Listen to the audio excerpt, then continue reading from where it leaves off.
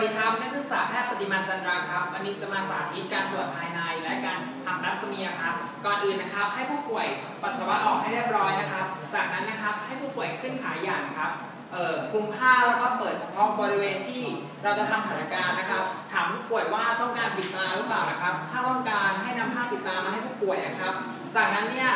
ทำการตรวจภายในครับ การตรวจขั้นตอนแรกเนี่ยคือการตรวจ external genitalia ครับ ตรวจดูบริเวณของ m o n t i b i s ครับ ตรวจบริเวณของ distribution ของ hair ดูบริเวณรอบ genitalia และ introitus นะครับ ดูว่ามีแผล มี scar หรือว่ามี discharge ผิดปกติหรือเปล่านะครับ ดูบริเวณไปถึง anus นะครับ ดูว่ามี hemorrhoid หรือว่ามี mass ผิดปกติหรือเปล่านะครับ จากนั้นนะครับคลำ lymph node ดูครับว่ามี lymph node โตกดเจ็บหรือเปล่านะครับ จากนั้นนะครับเป็นการตรวจใช้ดิจิตอลเอ็กซ m มิเนชันนะครับ โดยการใช้มือซ้ายนะครับแหวกบริเวณเอ่อ labia minora นะครับ ใช้สำลีชุบน้ำสะชุบเอ่อ sterile water นะครับ เช็ดหนึ่งครั้งครับ ทิ้งไปนะครับ จากนั้นเนี่ยใช้นิ้วกลางนะครับ รีดบริเวณของ urethra นะครับ โดยใช้นิ้วโป้งเนี่ยกดบริเวณด้านนอกไว้ด้วยนะครับ เปิดใช้นิ้วแหวกดูนะครับ รีดออกมา ใช้แรงเค้นนะครับ ดูว่ามี discharge ผิดปกติไหลออกมาหรือเปล่านะครับ ถ้ามีเนี่ยต้องใช้ไม้พันสำลีก้านยาวนะครับ ป้ายแล้วก็ส่งตรวจนะครับ จากนั้นเนี่ยรีดบริเวณ Skene's gland Skene's duct ครับ ซึ่งอยู่บริเวณด้านข้างของยูนิท่าทั้งสองข้างนะครับ ดูว่ามี mass หรือว่ามี discharge ผิดปกติหรือเปล่านะครับ ดู Bartholin gland ครับ และบริเวณ duct นะครับ บริเวณ 4 และ 8 นาฬิกานะครับใช้นิ้วโป้งกดด้านนอกนะครับ แล้วก็รีดออกมาเพื่อดูเอ่อคลำดูว่ามีก้อนหรือมี discharge ผิดปกติหรือเปล่านะครับ จากนั้นนะครับทำการแบปสเมียนะครับ โดยการแบปสเมียเนี่ยต้องทำต้องทำก่อนการทีวีเสมอนะครับ การทำแบปสเมียนะครับ ต้องถามผู้ป่วยว่าเคยมีเอ่อตรวจคัดกรองมะเร็งปากมดลูกมาภายในหนึ่งปีที่ผ่านมาหรือเปล่าครับ ดูว่ามีจำนวนบุตรกี่คนนะครับ ถ้ายังไม่เคยแบปสเมียมาในหนึ่งปี ก็จะทำทำการตรวจคัดกรองมะเร็งปากมดลูกให้นะครับ การตรวจนะครับ เลือกขนาดของสเปกุล่าให้เหมาะสมนะครับ ถ้าเป็นเอ่อ นาริพาริตี้หรือว่าการมีคนที่มีลูกน้อยๆนะครับ ก็มักจะใช้สเปกุล่าขนาดเล็กนะครับ แต่หากที่ผู้ที่มีทอยลัสขนาดใหญ่ หรือมีมัลติพาริตี้มากๆนะครับ ก็ใช้สเปกุล่าขนาดใหญ่ได้นะครับ เมื่อเลือกขนาดที่เหมาะสมได้แล้วนะครับทำการเอ่อก่อนทำการใส่สเปกุใส่สเปกุล่าเข้าไปครับเพื่อก่อนก่อนใส่เนี่ยให้ใช้เอ่อ sterile water นะครับเช็ดอีกหนึ่งครั้งครับ โดยห้ามใช้ antiseptic นะครับ เพราะทำให้เอ่อมีความผิดปกติมีเอ่อป้องกันปนเปื้อนได้นะครับ จากนั้นนะครับใช้ speculum ใส่เข้าไปโดยเอ่อทำมุม45องศา point posterior นะครับ ใช้ใช้มือซ้ายนะครับปรับ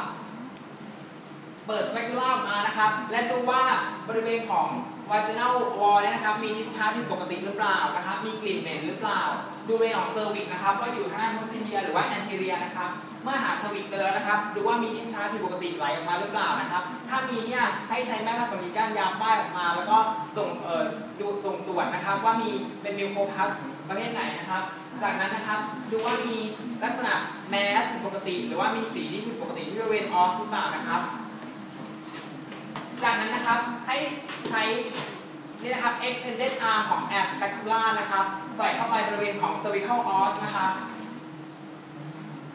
มื่อใส่เข้าไปได้แล้วนะครับ ให้หมุน 360 องศา 2 รอบนะครับ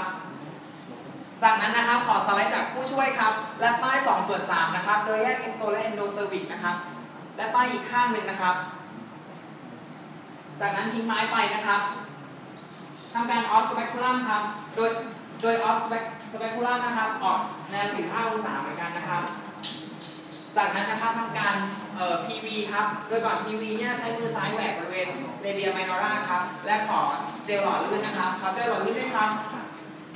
จากนั้นนะครับใช้2นิ้วคือนิ้วชี้และนิ้วกลางนะครับ ใส่นิ้วกลางเข้าไปก่อนครับ ก่อนใส่นะครับ ผู้ป่วยช่วยเบ่งลงก้นด้วยครับหยุดเบ่งได้ครับ หลังจากใส่นิ้วกลางแล้วนะครับ ให้กดลงบริเวณ posterior นะครับ ใส่นิ้วชี้เข้าไปนะครับ จากนั้นหงายมือนะครับ เปลี่ยนมือซ้ายมากดบริเวณของ pelvis นะครับ กดดูว่ามดลูกมีตำแหน่งเป็น antevert หรือว่า retrovert นะครับ ดูว่ามีการกดเจ็บบริเวณมดลูกหรือเปล่านะครับ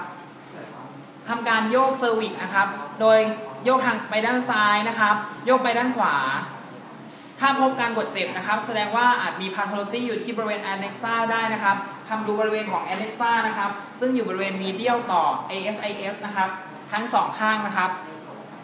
ทำเมื่อหาแมสจุดกดเจ็บนะครับ แล้วก็ประเมินยูทรัสไซส์นะครับ ว่ามีขนาดผิดปกติหรือเปล่านะครับ จากนั้นนะครับคว่ำมือลงครับ และพอยไปที่บริเวณของ posterior ครับคำดูว่ามี nodularity หรือเปล่านะครับคำดูบริเวณด้านข้างนะครับ ตรง paracropus และ paramedium นะครับ ทั้งสองข้างนะครับ ดูว่ามีลักษณะของ tense หรือว่ามีลักษณะของ mass ผิดปกติหรือเปล่านะครับ จากนั้นนะครับ ถอนนิ้วกลางออกมาครับ โดยที่นิ้วชี้ยังอยู่ในบริเวณของวาไจน่านะครับ ให้ผู้ป่วยเบ่งลงก้นอีกครั้งครับ จากนั้นแย่นิ้วกลางเข้าไปในก้นนะครับ โดยนิ้วชี้เนี่ยยังอยู่ในบริเวณของวาไจน่านะครับทำการตรวจเช็คของ RV septum นะครับ ดูลักษณะของความหนา ความแข็ง ดูว่ามี nodularity หรือเปล่านะครับ ซึ่งอาจบ่งบอกแพทย์ประสิทธิภาพในคาวเดแสกได้นะครับ ดูลักษณะว่ามีเอ่อ fistula อยู่บริเวณ RV RV septum หรือเปล่านะครับ ถ้ามีเนี่ยให้ประเมินขนาด แล้วก็ระยะจากบริเวณของ introitus เข้าไปนะครับ เช็คดูบริเวณพาราคอปัสและพามีเตียมทั้งสองข้างครับ จากนั้นถอนมือออกครับ และปิดผ้า ปิดผ้าให้เรียบร้อยนะครับ และให้ผู้ป่วยเออลงจากขาอย่างได้ครับ